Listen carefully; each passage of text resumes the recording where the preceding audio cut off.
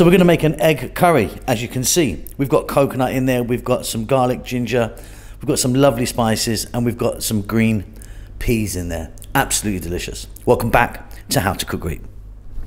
Okay, so here we've got 400 ml of coconut milk, two cups of garden peas, like a frozen pea, just rushed them through some water there, you know, a little bit of cold water. One cup of onion cut nice and small.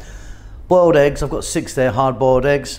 One teaspoon of cumin seeds, a tiny amount of bell pepper, like a tablespoon or so.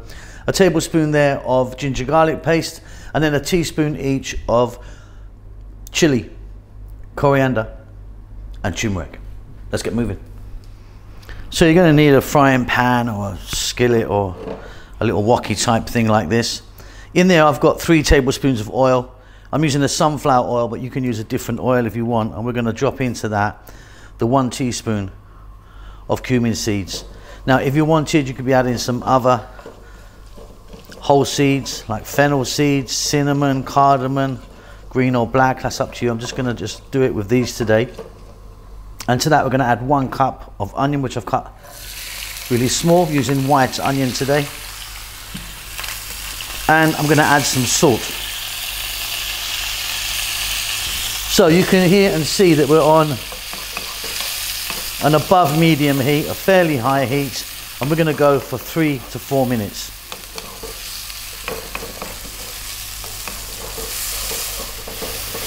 This is really quick and really easy. Next up, tablespoon ginger garlic paste. Garlic ginger paste is a 50-50 mix of the two. You can buy it in stores if you live near an Indian or Asian type store. Or, like us, you can make it yourself. We use lots of it, so we make plenty of it ourselves. We're going to drop in now those peas. That little tiny bit of bell pepper then we're going to add our powders. Let's just take another look. So a teaspoon each. Turmeric, chili, coriander. In it goes.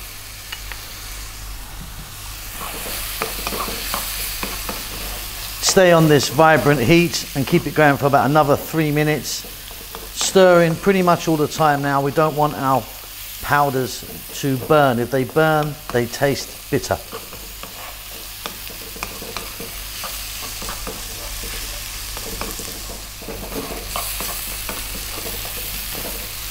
Then we're going to add 400 ml of coconut milk.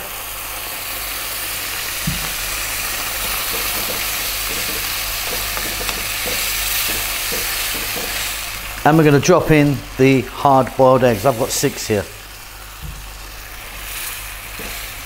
Now we're going to lower the heat to a simmer. Nice low heat. And we're going to let this go for about another five or six minutes. Job done, beautiful. Okay, so we're done, apart from one more thing. So off goes the heat. First of all, check that for salt, salt level. Now I'm gonna add now some fresh curry leaves. Now you may have seen me cook with these at the beginning, put them in the oil, which you can do. But I like them just in the end on this one. If you can't get fresh curry leaves, which a lot of you can't, judging by your comments, you could put some cilantro or coriander in there. Beautiful. Let me get that served. And that's it. A really simple, beautiful, creamy green peas and egg coconut curry. I hope you enjoy that. Please do take time to leave me a comment, give me a thumbs up, and subscribe to the channel. I'll see you soon. Lots of love.